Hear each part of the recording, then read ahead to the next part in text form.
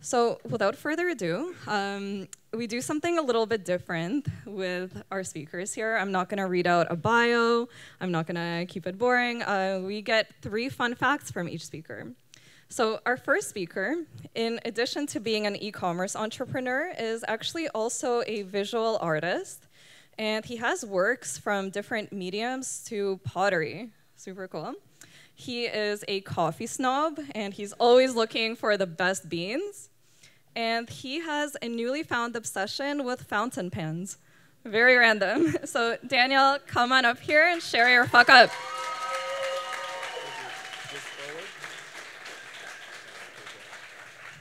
What's going on, everybody? I've always been in the crowd, so it's kind of nice to be in here uh, for a change. Um, so, my name is Daniel, and I'm going to give you just a quick background, right? Um, I did engineering. I went to McMaster, um, graduated out of that, went into the working force, and very quickly I realized it just wasn't as exciting as what I had hoped it would be, right? Um, and it's kind of like a crisis, right? You know, people have a problem before they decide what to go to do in school. I did that after I finished and I started working.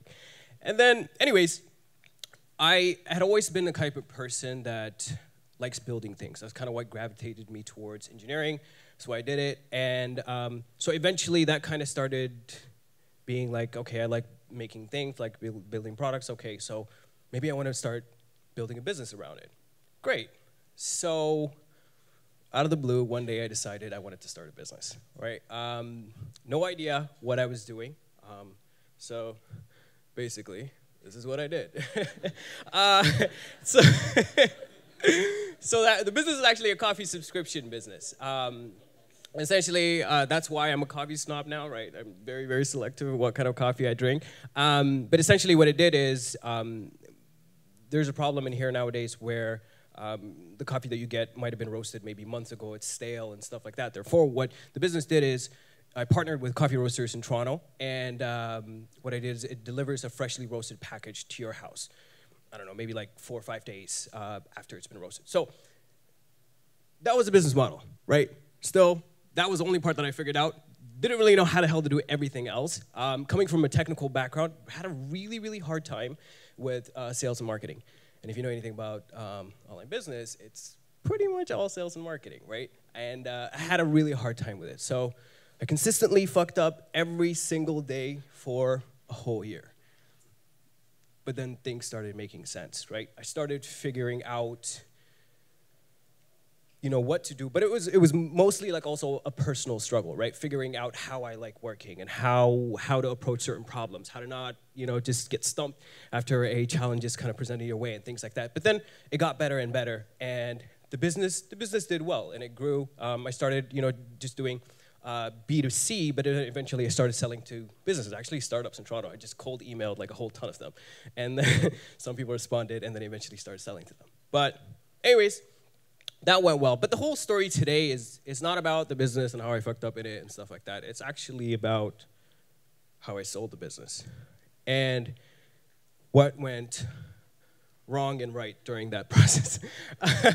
so, um, so fast forward to August 2017. Um, I decided uh, that I was going to sell my business. A lot more emotional decision rather than a, a logical one, but I did. And um, so there's there's actually websites where you can online businesses where you can sell online businesses. Who knew, right? And then, but anyways, I ended up listing mine in there, and it did pretty well, because one of the things, look, I was working full time throughout the whole time and stuff like that. So one of the things I focused on was making sure the business was running as automated as possible, right? So by the time I had sold it, it was took me around maybe about 30 minutes per week to run, and it was profitable. It was doing well perfect opportunity for people that want to buy a business, right? Because they don't want another business, another full-time job. Anyways, it did very, very well, and uh, actually ended up selling it for 10x uh, profit, which is kind of unheard of for e-commerce businesses, right? Um, and another thing, yeah, it was actually uh, in a Shopify site as well. Anyways, so that went, that was great. I'm like, okay, fantastic. And then selling is, is a two stage, right? You sell, it's like an auction based thing, and then after that, you got to close the deal, right? So sign a couple papers, so on and so forth. You transfer the asset and things like that. And this is literally what I felt like because my buyers were in the US, I'm based in Canada. Who knew it was so difficult to transfer a G Suite account from a Canadian company to an American company? Literally had to close my account and then open another one in the US and transfer all the, the files manually. Anyways, took lots of time. And then everything kind of just, I started, um, you know, providing all the assets, so like the website, um, the inventory, kind of connecting them who my suppliers were and things like that. Everything. So from my part, uh, even though it took a long time, I was pretty much done. And then I got an email from the buyers. Um, so, and then they're like, okay, so, and mind you, everything is kind of just transferred at this point, and they're like, there are certain parts of the term that we want to renegotiate. what? what? uh, seriously? And here's, here's the, like, I mean, I, I didn't I didn't have my website. Um, you know, I transferred it to them. Normally, GoDaddy puts a 60-day hold on these things. I didn't have uh, my Shopify site. Everything, everything. Like, I, it wasn't even that you know the deal might not fall through, but I might also you know completely lose my business as well because I don't have anything that belongs to it. It was difficult, and really, I went from a high of like, oh my God, you know, I sold my first business to like, damn, I don't think I'm gonna be able to pay off OSAP. so, and then it, like it just split second, and uh, it was, this was a really difficult time, and I just didn't really know what to do, and essentially. Um, throughout the whole time, what had happened was since my website, like the auction of my website was doing really well, Flippa, the company that I sold it with, had assigned me an account manager. And what I did is I kept them in the loop of everything that was going on, right? This is what the buyers are saying. This is what's going on. This is, um, and then at that point in time, I also uh, got a lawyer, which should have done, you know, maybe earlier, but uh, decided to talk to a lawyer to figure out, and he's like, you know, like, deal's pretty much done, you know, like money's in the bank, and then uh, money's in, um, in escrow, and assets have been transferred. It's, it's pretty much done, right? You can't do these kind of things. And uh, essentially what the renegotiation was, um, it's a, it's a, it's a subscription business, so sometimes there are certain costs that are incurred, you know, later down the month, uh, the month, right? You earn the revenue right now, and then the costs come out a couple months later. What happened was, I had explicitly listed this as part of my sale, right? I was very, very thorough. One thing I'm good at, you know, that's one thing I don't fuck up at is being very thorough, and that's what I did. So essentially, what happened was they were trying to renegotiate this, and it was tough because you know, like it's an insignificant amount of money, and in comparison to what the sale was, and this is kind of what the hanging point was, right? And then, anyways, I talked with uh, my my account manager, and um, I talked. Um, I tried to come to uh, to terms with them because at this point in time, it was taking about two months to close the deal. So I was just like, okay, listen, man, I'll come to table and I will I will refund some of the costs, right? I'll refund some of the costs. Let's come to a term. Let's close this deal. They come back, and the, and the amount of money that they came back with was about three times that. I'm like, oh, okay, these people are not, uh, you know, they're not serious. They're play, trying to play around. And what happened at the end was essentially like an ultimatum, right? I talked with Flippa and figured out that um, if something is uh, happening like this, you know, the money is in escrow and assets have been transferred, you know, you can force the money to go through. Not pleasant thing to do, but it can be done. And then um, basically sent them an email, and I'm like, okay, so you have 24 hours to decide. This is what's going to happen. And if you do not accept, um, and I actually offered some of the, the costs. I just, for, uh, for good faith, I'll, I'll reimburse some of the costs. Um, but you have 24 hours to decide. And they did. They said yes. And that was it. the deal was closed, right? Um, lots of unnecessary things happen in, in, in you know, just um, throughout the whole sale, but, but it closed. And I was able to pay off OSAP. and then, uh, so here's, here's kind of what I want to finish off with, right? Um, I, like, I take a very scrappy approach to everything that I do, right? And um, some of the, one of the biggest mistakes that I made is, I'm like, you know, I need to sell it. I don't care. I'm gonna go to a website, list it there, and then just sell it and like figure out the things as as they come, which is which worked very well for starting a business, but not so much for this site. So one of the things is, you know, be very transparent. um, know set expectations early on. That's kind of one of the things that I learned, and also, um, you know, sounds a sales agreement, which is kind of obvious. I was a little lucky because terms of the website happened to have a sales, um, sales term, which was already implied if you you know agreed to their terms and conditions, and then um, be very transparent, be very very thorough, and um, you know try to be um, as uh, also present numbers. That's the thing, right? Especially online businesses, If you want to you want to back up everything that you say with numbers. And uh, yeah, that's kind of what I learned. I mean, I know it it ended up going well, but it was oh man, it was very stressful during that time. and uh, that's it. Thank you. Um,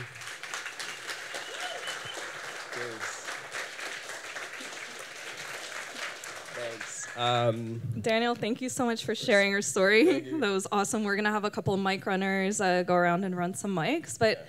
I just wanted to say, you know, like this could have been such a bigger fuck up yeah, than it was, and I think like it's so valuable to hear the story and like see that it could have been so much worse if like just like he did some like things to prevent it. So I really hope that some of you here who are thinking about selling a business in the future or maybe right now really like take this story very seriously. Yeah. So who wants to kick us off with the first question? Also, side note before that, um, it, it's a lengthy process, and I did write a blog post of how to list the product, uh, like a business to sell, and also how to close the business to sell.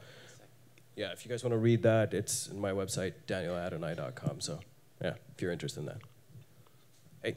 Hey, man. Uh, thanks for sharing your story. Thank you. Um, you said you had, it was a subscription-based business. Yes. Um, roughly how many users do you have before you sold, and how long were you operating as a brick and mortar before it sold? Uh, so I, uh, it was not brick and mortar at all. It was so that all picture online. Of you in the yeah, that was, you know that was. Oh, that was, was the operation like, uh, behind it. yeah, it was like the coffee roaster I was partnering with, um, and yeah, I just went to their place. I'm like, yeah, I need to take some pictures of the website, and that was it. And uh, yeah, they were pretty cool too. Um, and so yeah, like I think about hundred and something customers uh, split between Canada and the U.S. So just to give you an, uh, an, idea, some of them were business customers, so they're like worth right, right. you know twenty. Yeah, exactly, right? And uh, yeah, so split around Canada, U.S. We had some in Europe, one or two, a few. Yeah. And how long were you in operating as the business before it sold again? Yeah, I think I did this for about three years. Uh, so it's kind of like a side side gig. Kind of just started slowly, one customer, two customer, all the way to 100 uh, or so. And uh, yeah, so I was working during that time. So that's why it took a bit of time for me to kind of figure out what was going on and stuff like that. But yeah, it took about three years, and then I sold it. Thank you. Yeah, you're welcome. Hi, Daniel. Hey, hey, Wazzy. What's up? How's it going? Okay, so I wanted to know, um, looking back now, are you happy with who you sold the business to? Like, are they still continuing uh, the vision that you initially had for the business? Or do you wish you still kept the business and maybe took some time before you sold it? Yeah, um, I'm gonna answer the easy part of that question. Um, I'm I'm very happy I sold because I would I was at a stage where I just, you know, I wasn't as interested in the business, and it was kind of just to let, it was time to let somebody take on the, you know, to carry on the business. Um, I can't really comment on, you know, what they're doing and how well they're keeping it up. I don't really keep track of it, to be quite honest. I kind of just completely moved on. That was the plan, and I stuck to it. Right. Okay, that's Thanks. Good. Thank you. I think there's a few people here. Oh yeah. Hey, what's up, um, hi. Hey. Thank you so much for your story. Yeah, it's very, course. very entertaining. Um, my question is actually similar to what you just said. Yeah. Um, how do you know it's time to sell versus sticking with the dream?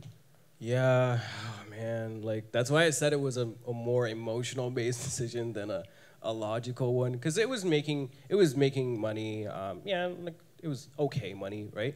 But um, I think you got to look at you know like where you wanted to go to. I, at that point in time, I just wanted to drink coffee and not necessarily sell it, and so it just for me it was kind of just coming to you know having a conversation with myself as weird as that sounds, but uh, deciding what was important for me and what direction I wanted to head into, and uh, it's tough, man. I can't.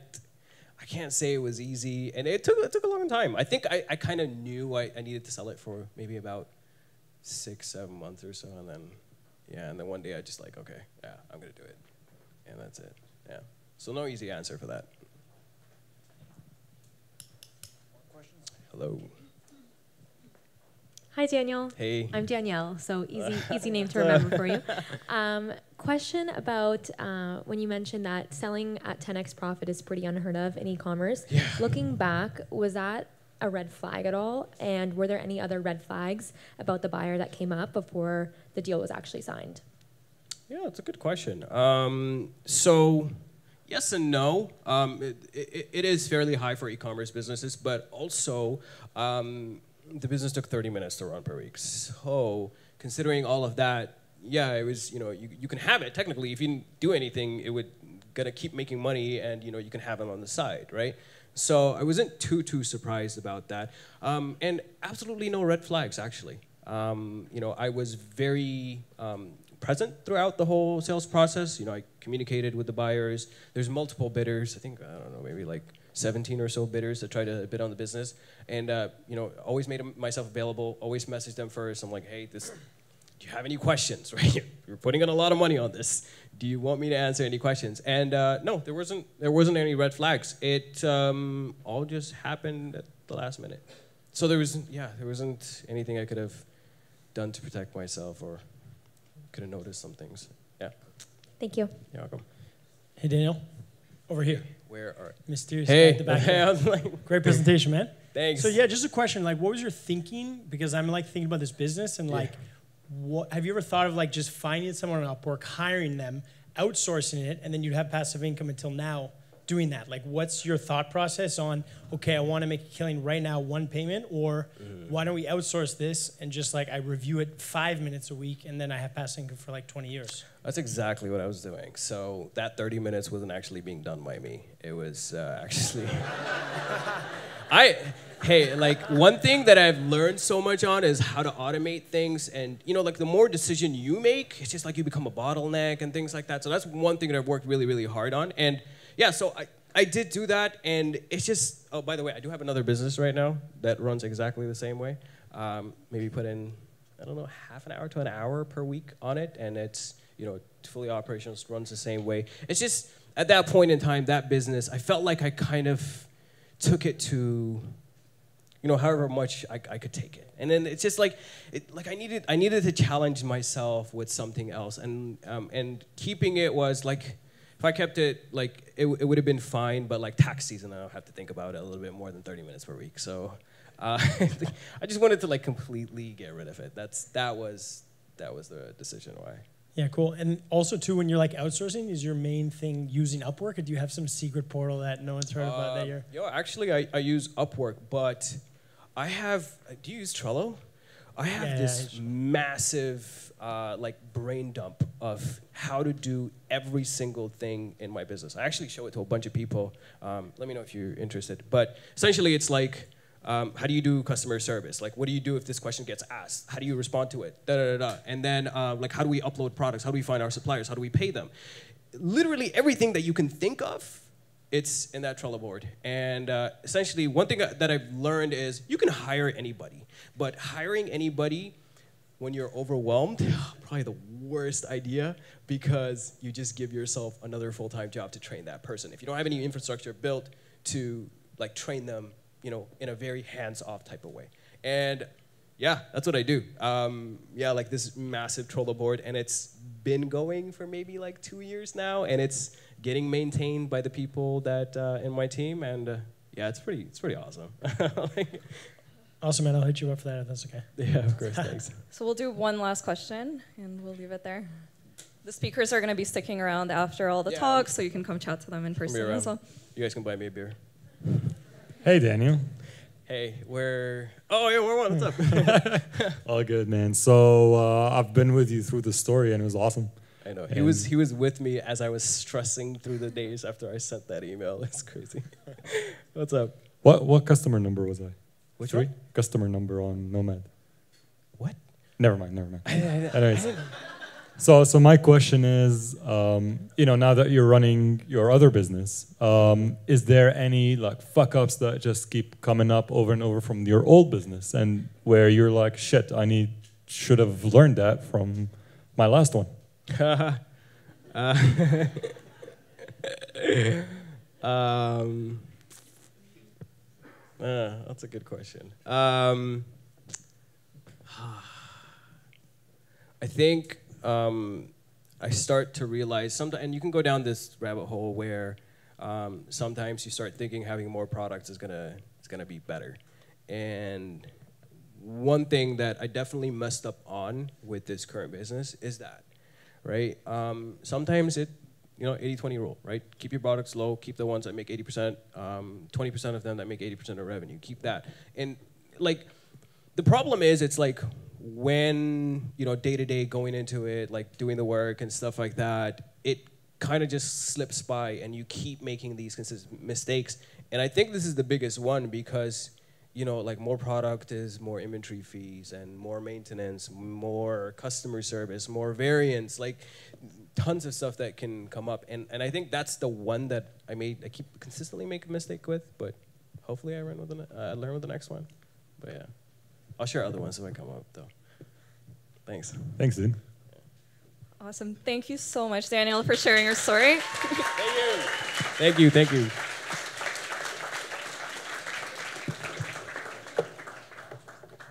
All right, everyone. So before